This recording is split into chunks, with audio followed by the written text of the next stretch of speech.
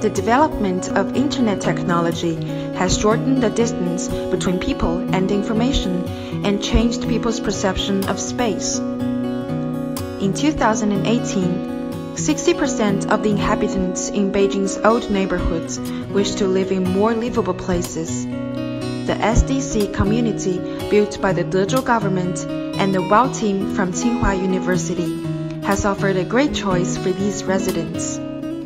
In line with the master plan for the Xiong'an New area, Dezhou will become an important node with beautiful natural environment and convenient transportation.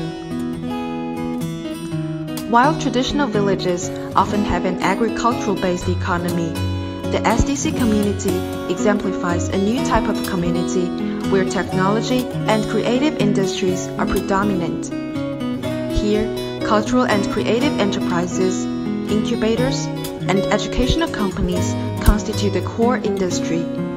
The community also provides a new working mode which enables the newcoming inhabitants to become youthful seniors. They can help to optimize the existing industrial processes with their ample working experience or continue to learn new skills and join new businesses based on their interests. While enjoying a high quality living environment, they're also injecting vitality and value into their lives. In addition to lifestyle innovations, the SDC community also provides inhabitants with a new type of residential mode. The community will be rapidly constructed with multifunctional prefabricated buildings while ensuring sustainable energy supply with efficient and clean solar energy. As an exemplar of this green community, the WHAO House consists of several typical modules that plays different roles. A hub, a master bedroom, a sunroom, a guest bedroom, and a multimedia room. Every resident can choose the number of prefabricated room modules according to his or her personal needs and propose their ideal layout.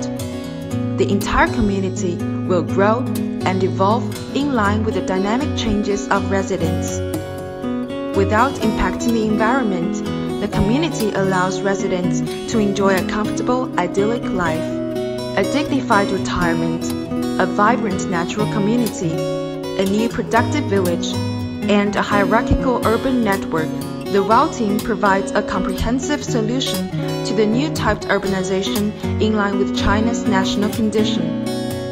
The WHAO team intends to solve urban and rural problems make nature better, and living easier.